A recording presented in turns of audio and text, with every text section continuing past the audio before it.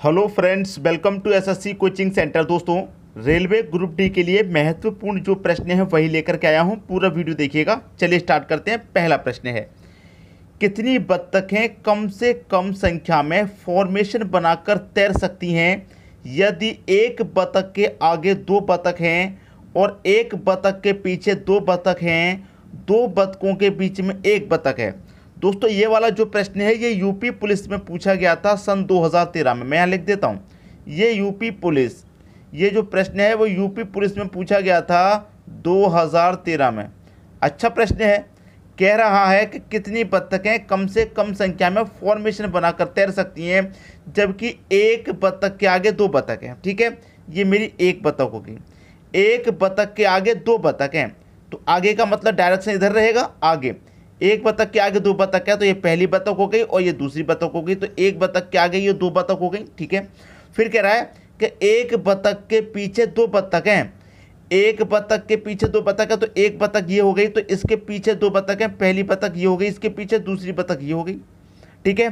फिर कह रहा है कि दो बतखों के बीच में एक बतख है तो दो बतखों के बीच में क्या है? एक बतख है। तो इसका मतलब पूछ रहा था कि बीच में एक बतख है तो आपको प्रश्न का आंसर आ गया। भाई, प्रश्न का आंसर आ गया कि नहीं आ गया? तो कितनी बतखें कम से कम संख्या में फॉर्म से बना के तैर सकती हैं? तीन बतख तैर सकती हैं। पहला ऑप्शन सही हो जाएगा। आगे प्रश्न सभी के समझ में? इस तरीके के प्रश्न थोड़े से घुमावदार होते हैं, परेशान करने वाले होते हैं, लेकिन आप सीरीज़ बना करके चलेंगे, कभी भी प्रश्न गलत नहीं हो सकता, अगर आपने एक बार तरीका सही सीख लिया है। तो उम्मीद करूँगा ये यूपी पुलिस 2013 का प्रश्न आपने अच्छे से सीख लिया। अब देखेंगे अगला प्रश्न। अगला प्रश्न है यदि प्लस तथा डिवाइड गुना तथा माइनस को समीकरण इसमें बदल दिया जाए तो इसका मान क्या होगा? बहुत बढ़िया प्रश्न। समीकरण आपको दे रखा है। सत्रह डिवाइडेड बाई सात माइनस का सत्ताईस प्लस का नौ, गुने का तीन। ये आपको समीकरण यहाँ पर दे रखा है। बहुत अच्छा प्रश्न है। ठीक है? अब देखिए, इस प्रश्न की अगर मैं यहाँ पर बात करूँ तो देखिए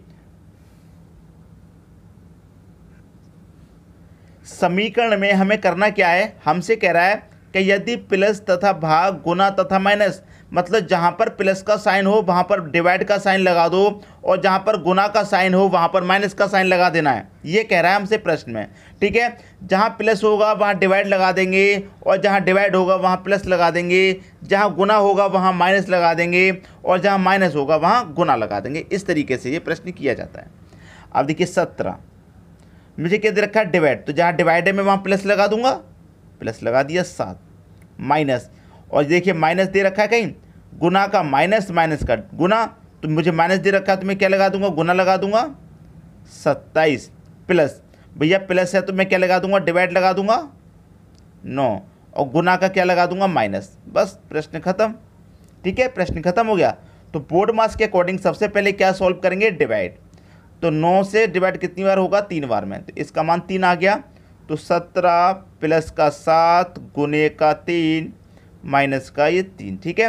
अब बोर्ड मास के अकॉर्डिंग पहले गुना होगा तो सात त्रिक का इक्कीस हो जाएगा ये इसका मान। तो सत्रह प्लस इक्कीस, माइनस का तीन। अब सत्रह और इक्कीस कितना हो जाएगा? अड़तीस हो जाएगा और माइनस का हो जाएगा उसमें से तीन। तो अड़तीस में से हम तीन घटा देंगे, आंसर आ जाएगा पैंतीस। डी ऑप्शन आपके प्रश्न का बिल्कुल सही आंसर है यहाँ पे। आसानी से बात समझ में आ गई। अब देखेंगे अगला प्रश्न। अगला प्रश्न है, यदि प्लस का अर्थ डिवाइड माइनस का अर्थ गुना गुना का अर्थ माइनस तथा डिवाइड का अर्थ प्लस है, तब समीकरण का मान क्या होगा? आर आर बी दो हज़ार सोलह का प्रश्न है। समीकरण लिख लीजिए। ग्यारह गुना सात, प्लस का इक्कीस, गुने का दो डिवाइड का दो डिवाइड का तीन माइनस का चार। अब ग्यारह है। भैया गुना का अर्थ क्या दे रखा है हमें? हमें दे रखा है, देखिए माइनस का अर्थ गुना और गुना का अर्थ माइनस गुना का अर्थ क्या है? माइनस तो जहाँ पर गुना है, वहाँ माइनस ले लेंगे। सात, ठीक? अब देखिए प्लस का हमें दे रखा साइन और प्लस का अर्थ कितना है? डिवाइड तो प्लस का अर्थ डिवाइड है तो मैं प्लस की जगह यहाँ डिवाइड ले लूँगा। इक्कीस। अब गुना दे रखा है और गुना का अर्थ क्या है? माइनस है तो भैया माइनस ले लेंगे तो डिवाइड दे रखा है, ठीक है? और डिवाइड का अर्थ क्या है? प्लस है तो प्लस ले लेंगे। दो डिवाइड का अर्थ प्लस है तो प्लस ले लेंगे, तीन। अब माइनस है, अब माइनस का अर्थ कितना है? गुना है तो गुना ले लेंगे, चार। बस, खत्म हो जाएगा प्रश्न अब। अब प्रश्न में कुछ भी बचेगा, नहीं बचने वाला। ग्यारह। माइनस के सात में भाग देना है हमको कितने से? इक्कीस से। तो सात एकम सात कटेगा, सात तरीका इक्कीस। यही तो होगा, ठीक है? अब होने के बाद में हो गया, अब माइनस का दो। प्लस का दो। प्लस का तीन गुने का चार। ये है हमारे पास। अब इसको सॉल्व करेंगे, देखिए, हमारा डिवाइड सॉल्व हो गया। डिवाइड सॉल्व होने के बाद में अब क्या सॉल्व होगा? गुना। तो तीन चौके बारह, ये भी गुना मैंने यहाँ सॉल्व कर लिया। बचा क्या? ग्यारह माइनस का एक बट्टे तीन, माइनस का दो प्लस दो प्लस, ये दो प्लस दो, और ये कितना हो गया? बारह हो गया। तो बचा कितना मेरे पास? देखिए, यहाँ पर मेरे पास माइनस का दो है, और मेरे पास प्लस का बारह है प्लस का दो है, चौदह हो जाएगा। चौदह में से माइनस का दो कट जाएगा तो कितना बचेगा भाई? बारह ही तो बचेगा। क्लियर है इतनी बात? बारह ही बचेगा प्लस का।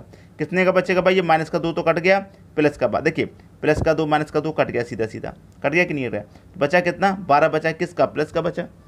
खत्म हुआ आंसर। अब क्या बचेगा? अब आसानी से कर लेंगे आप इस प्रश्न को। ठीक है, देखिए, कर लीजिए।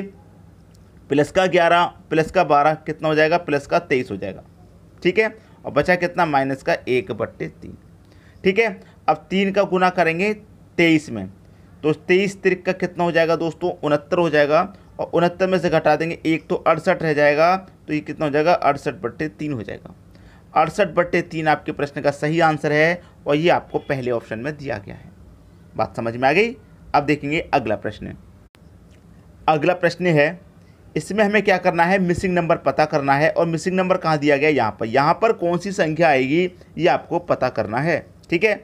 अब इसके अकॉर्डिंग पता करेंगे। भाई, यहाँ पर जो संख्या है, पाँच, आठ, तीन से यहाँ पर दे रखा है, दो सौ छप्पन। बड़ी संख्या दे रखी है। तो कुछ ना कुछ ऐसा करेंगे, यहाँ पर लॉजिक लगा करके वही लॉजिक यहाँ पर सेट हो जाए और संख्या भी हमको पता चल जाए, ठीक है? ऐसा ही कुछ करेंगे।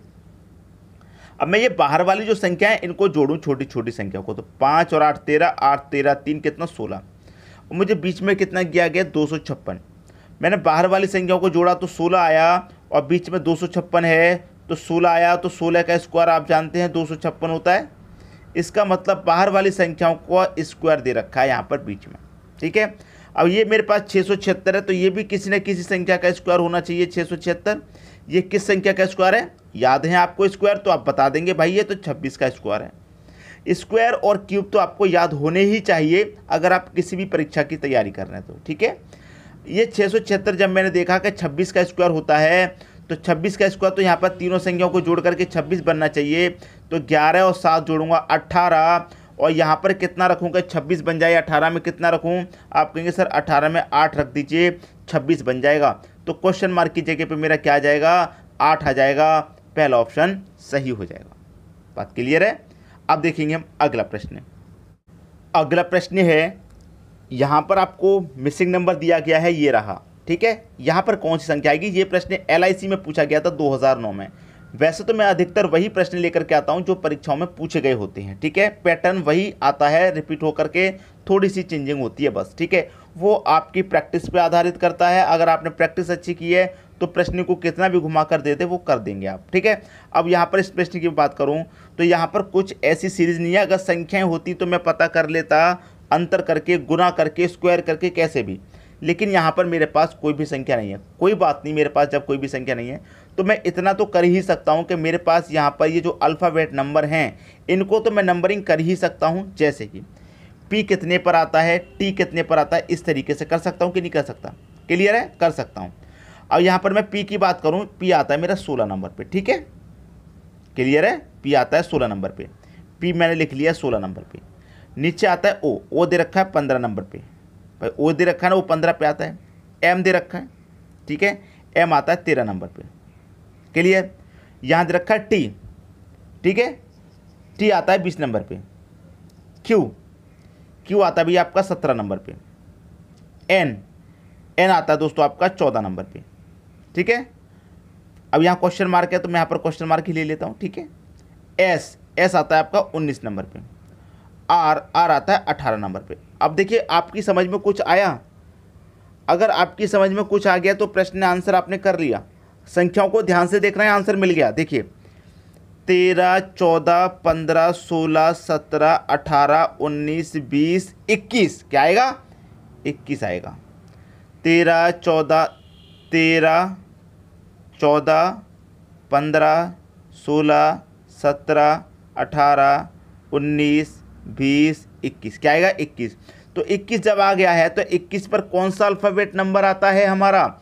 21 पर आता है हमारा यू ठीक है? 21 पे क्या आता है? यू आता है तो यू दे रखा मेरा डी ऑप्शन में।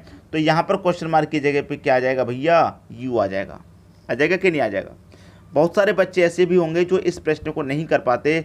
अधिक से अधिक वीडियो को शेयर करना है। दोस्तों, अगर वीडियो आपको अच्छा लगता है, आप भी चाहते हैं कि ये वीडियो अच्छा है तो अपने दोस्तों तक तो ज़रूर भेजें ताकि उनकी भी हेल्प हो सके, उनको भी देखने को मिले ऐसे प्रश्न। और उनको इन प्रश्न में कोई भी कठिनाई होगी तो वो दूर हो जाएगी। तो सभी के पास वीडियो को शेयर किया करें। ठीक है दोस्तों धन्यवाद।